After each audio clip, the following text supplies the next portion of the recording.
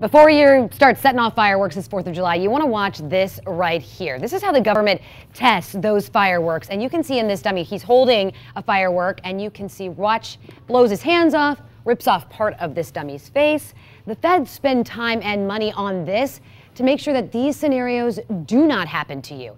And ultimately, your safety comes down to where you buy your fireworks, how you store them, how you use the explosives. And you know the basics. Keep fireworks away from heat and keep a bucket of water handy. But have you thought about the possibility of static electricity setting off your fireworks?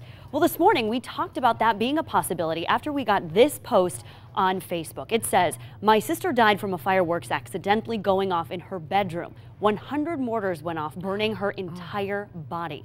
She was folding clothes and the static set them off. That's scary, isn't it? So how worried should we actually be about static electricity? 10 News reporter Isabel Mascarenas is putting that question to the Verify test.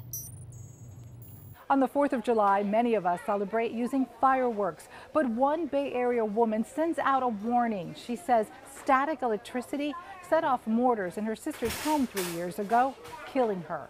After listening to Catherine Flint's story, we set out to verify that claim.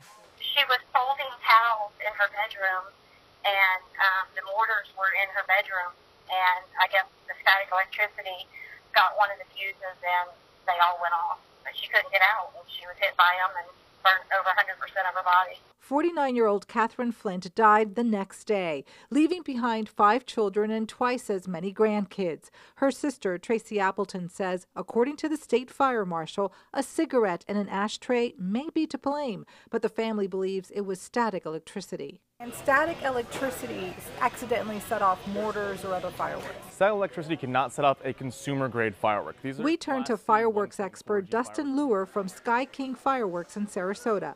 These are Class C 1.4G fireworks that we sell as a retailer to our customers and it's not possible to set off one of those with uh, static charge. We have a lot of protective features on fireworks now. The, all the products are completely covered um, we even have fuse protectors on every item now that you have to deliberately peel back um, the cover to expose the fuse. And at that point, you have to deliberately take a fire to that, that fuse to set it off. Dustin says the Class B fireworks could be set off easily, but those are illegal for consumers. The people who bring in Class B items, the, the real pyrotechnicians, are very good at what they do and they are very safe. They're, they're regulated by the government and know how to protect that. They have to have bunkers to, to store that those items. July 4th is a day of celebration, but not for your family. No, no, not anymore.